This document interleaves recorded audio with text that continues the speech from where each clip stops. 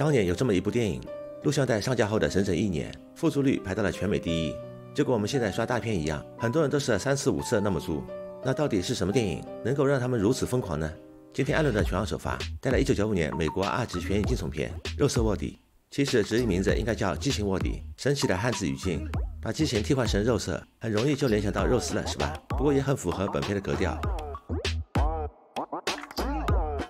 从小被老爸和两个哥哥呵护长大的女孩侯丽，今天终于自由了，没有了他们的看管，她也能和同事马德自在的眉来眼去了。对了，和他老爸一样，她也成为了一名警察，可每天处理一些小偷小摸的，让她很快就觉得没什么意思。哎，这一天机会来了。昨晚在城市的另一头，一个女孩被害，导演也是给出了线索，女孩是一个高级应招妹子，她应邀来到了一间房子。哦吼，看样子不是第一次的合作了。在那柔情缠绵中，男人突然掏出了家伙，威胁女孩交出照片。女孩倒是丝毫没觉得害怕，反过来呛男人，让他快点准备好马尼。但他还是低估了对方的疯狂，噗呲就此归西。意外的是，警局老大一查女孩的身份，就说那是魏夫人的厂子，专门合作那些达官显贵。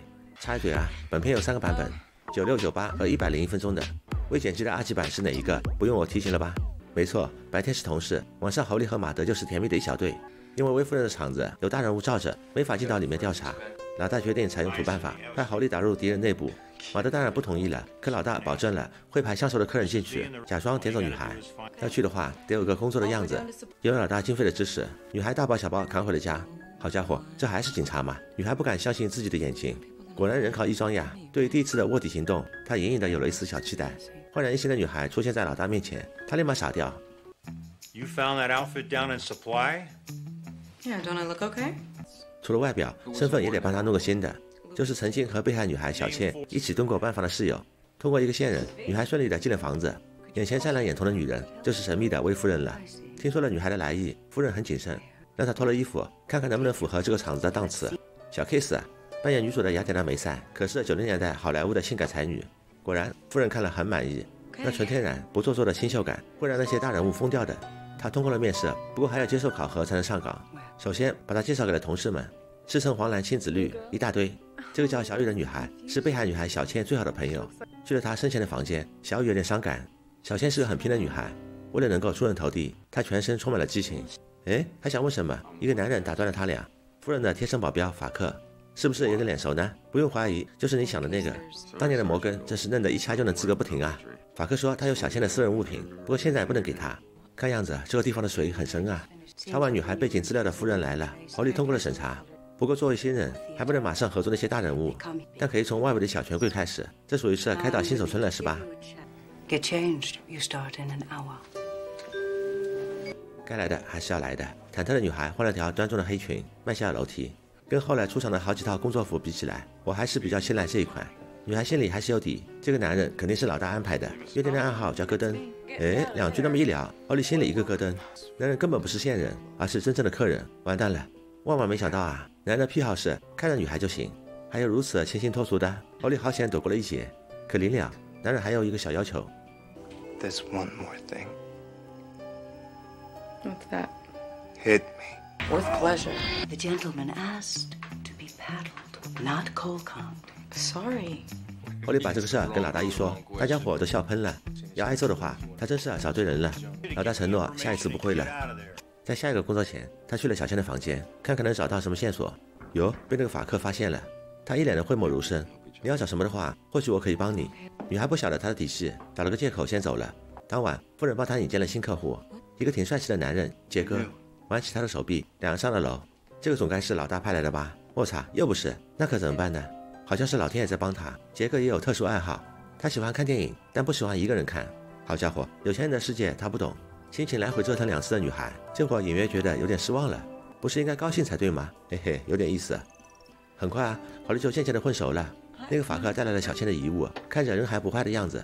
小雨也告诉他，就在小倩归西前两天，他一直很兴奋，说不久后就能干到一笔大买卖，然后离开这个地方。大买卖，他是惹到谁了呢？小雨说，他最喜欢跳舞了。既然都是姐妹了，那就无偿给他来一段。压抑了几天的女孩，第一次爽朗的开怀大笑，时长一百五十秒。那个不靠谱的老大放了女孩两次鸽子了，他早就不抱希望。哎，偏偏他已经准备豁出去了。第三个男人竟然是线人，隐隐的失望闪过眼角。老大是故意的吧？才想那么放纵一次，就派人来捣乱了。这个时候啊，小雨也去了一个房子，男人没露脸，不过应该是个老客户。他把昨天交给豪丽的舞蹈又如法跳了一段，可把男人给撩的，哎呦，意外来了！男人掏出来一把家伙，原来他就是凶手。他的一些私密照片被小倩偷到了，在女孩准备狮子大开口的时候，直接被他灭了口。小雨吓懵了，答应会帮他。回到厂子，他古怪的样子被侯丽看在眼里，有问题啊！迟迟没有找到线索，这边的老大有点不耐烦了，只答应给他最后两天时间，再没结果的话就撤出卧底。没成想当晚就有了进展，一个男人点名让小倩的姐妹合作。女孩眉头一皱，有了，那是一个挺斯文的男人。在以前，他只会搜男人的身，从没脱过他们的衣服。女孩的心里默默的念叨：“我不会沉迷的。”可身体却不争气的屈服了。算了，就当是为了工作吧。女孩现学现用，把昨晚小雨教她的舞蹈跳给了男人看。隆里个隆！夫人告诉了她好消息，鉴于客人给的五星好评，决定把她提到权贵组。Okay, I'm ready. Good. Congratulations. 第二重惊喜来临。法克也莫名的对小倩的死有所怀疑，凶手应该就是这儿的客户。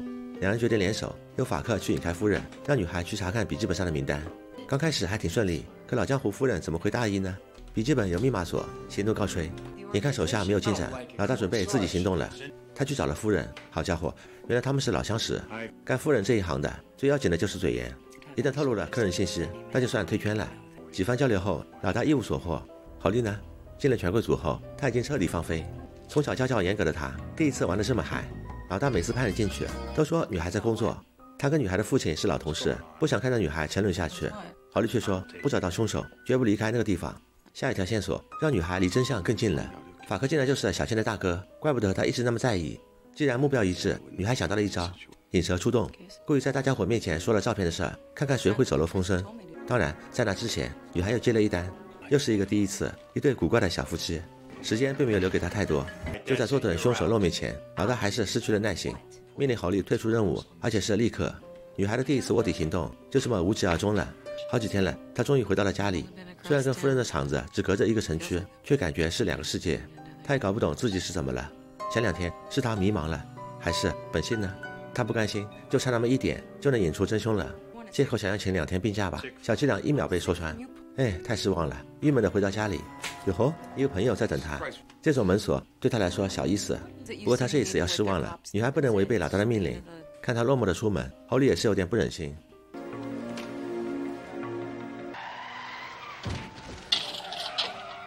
Oh God！凶手胆子不小，大白天的，法克就这么被归尸。其实啊，之前女孩的计划已经奏效了。小雨迫于凶手的淫威，果然去通知了他，失去了最能干的手下。夫人却还是不想做点什么。气愤的女孩拿她也没办法，这还不够。今天是一个姐妹的生日，大家伙都在为她庆贺，夫人却还是排了她的班。看不下去的郝丽选择了主动替姐妹去。如约到了地方，一开门，哟，竟然是那个杰哥，还记得吗？不想一个人看电影的那个。女孩很奇怪，怎么癖好改了？哎呦，就是在人家地方有点放不开。既然是老朋友了，那也没什么不好意思的。女孩想先去一趟卫生间。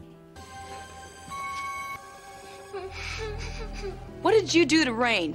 Nothing compared to what I'm gonna do to you if you don't give me those negatives.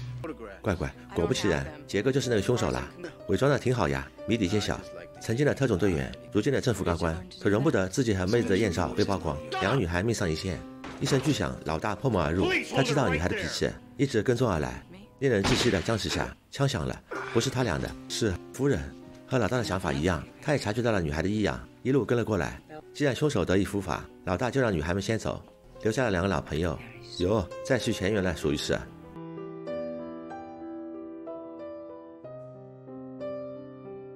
孩子，点击接受，在我来看吧，一部好的二级片需要三个元素：第一嘛，清凉，不难理解，对吧？第二，不用太多对话就能理解的故事；第三，性感的实力派女星。本片三样全占了，怪不得能排上当年副座榜的第一。不过还是老话题，那一百零一分钟差在哪里呢？那三个人的游戏，还有影片结尾就是了。一九九五年美国二级悬疑惊悚片，肉色卧底，剧情三颗星，表演三颗星，卡斯四颗星，哇塞五星半，你没听错，多破了半颗。所以啊，综合评分四星有了。雅典的梅赛演艺生涯里最为 open 的一部。本期雷克萨，我们再会。